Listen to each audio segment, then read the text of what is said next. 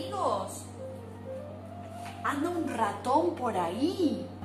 Y lo peor que se quiere comer mi galletita de chispas de chocolate, son mis favoritas. Miren, justo hoy vamos a leer este cuento. Si le das una galletita a un ratón de Laura Schoff número, a ver, ¿qué nos dice? Vamos a leer el cuento por acá, ilustrado por Felicia Bond.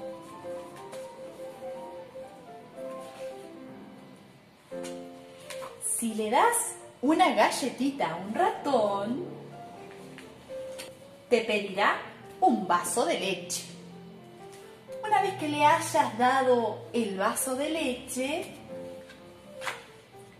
te, posiblemente te pedirá un sorbete. Cuando haya terminado, te pedirá una servilleta.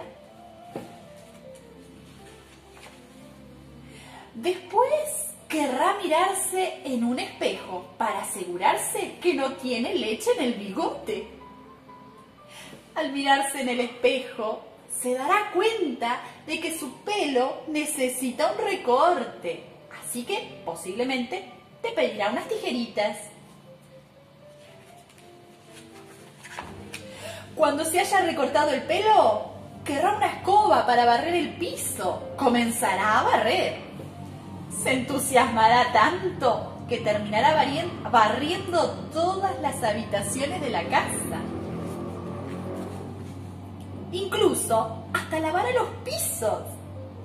Una vez que haya terminado, probablemente querrá dormir la siesta. Le tendrás que preparar una cajita con almohada y colcha. Se acomodará la cama y sacudirá la almohada varias veces. Posiblemente te pedirá que le leas un cuento. Le leerás un cuento de uno de tus libros y te pedirá que le enseñes los dibujos. Al ver los dibujos, le gustarán tanto que él también querrá dibujar. Te pedirá papel y lápices de colores y hará un dibujo. ¿Qué dibujo? Oh, cuando haya terminado el dibujo, querrá firmarlo con una pluma. Entonces, querrá pegar el dibujo en la puerta del refrigerador y para eso necesitará cinta adhesiva, por supuesto. Pegará el dibujo y dará unos pasos hacia atrás para verlo mejor. Al ver el refrigerador, se acordará de que tiene sed. Así que te pedirá un vaso de leche. Y es casi seguro que si te pide un vaso de leche,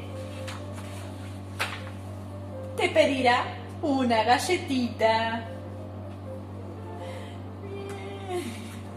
Fin de la historia.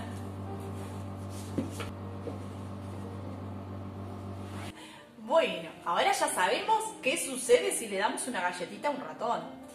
Antes de terminar, vamos a hablar acerca de la autora de este cuento, Laura Schoff Numerov. Ella nació en Brooklyn, Nueva York, y es la más joven de tres niñas. Cuando era niña era una ávida lectora, como me imagino muchos de ustedes. Y a la edad de nueve años decidió que iba a ser escritora. Cuando llegó el momento que tenía que solicitar la universidad, decidió estudiar moda. Pero finalmente se dio cuenta que la moda no era para ella, por lo que volvió a su sueño de la infancia de convertirse en escritora y comenzó a tomar una clase de escritura. En una de las tareas, ella comenzó a escribir la historia Amy, que fue publicada por primera vez en el 1975 y la lanzó a esa carrera de escritora. Este libro que tenemos aquí, si le das una galletita a un ratón, es el inicio de una serie de Si le das por ejemplo, escribió otros más. Si le das un bollo a un alce, si le das un pastelito a un gato, o si le das un panqueque a un cerdo, entre otros. Este librito fue publicado en el 1985 y estas historias utilizan un formato de historia circular que presentan al lector una cadena de eventos y al final de la historia el lector descubre que los personajes terminaron en el mismo evento con el que comenzaron, ¿verdad? ¿Que es así? Bueno, ratón, ya tenés tu galletita, mira, aquí tengo un crayón, ¿te sirve? ¿Qué pasaba si le dabas un color? A ver, vamos a recordarlo. Bueno, amigos, nos vemos en la próxima semana. Sigan escribiendo sus comentarios aquí debajo del video o como nos están llegando también por WhatsApp.